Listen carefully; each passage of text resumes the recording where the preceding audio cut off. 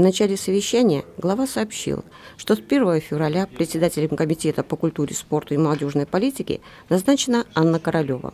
Андрей Николаевич вручил диплом лауреата регионального конкурса творческих работ «Учитель здоровья России-2017» педагогу третьей школы Светлане Петровой и поздравил ее с победой. В настоящее время администрация Десногорска разрабатывается стратегия социального и экономического развития нашего города на период до 2030 года. В рамках разработки этой стратегии, а также в рамках реализации проекта «Гражданин страны Росатом» нами подготовлен план мероприятий по общественному обсуждению направлений, которые будут включены в эту стратегию, а именно экономическое развитие, жилищно-коммунальное хозяйство, культура, спорт, молодежная политика, общее дошкольное дополнительное образование, организация муниципального управления.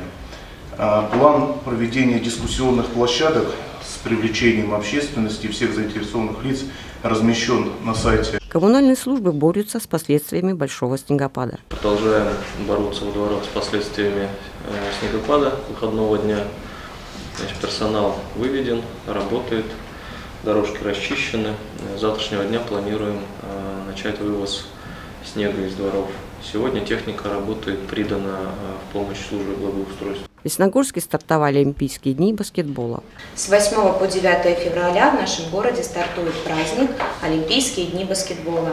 Мы приглашаем всех желающих 8 февраля в 15.00 на торжественное открытие, которое состоится в физкультурно-оздоровительном комплексе «Десна».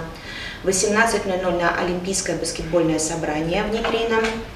9 февраля в 14.00 мы приглашаем всех в Центр культуры и молодежной политики на э, творческую встречу с актерским составом э, кинофильма «Движение вверх». В 18.00 э, физкультурно-оздоровительный комплекс «Десна» на торжественное закрытие. Отдел социальной защиты Десногорска информирует руководителей предприятий города. В городе Сочи в период с 9 по 13 апреля будет проходить неделя охраны труда.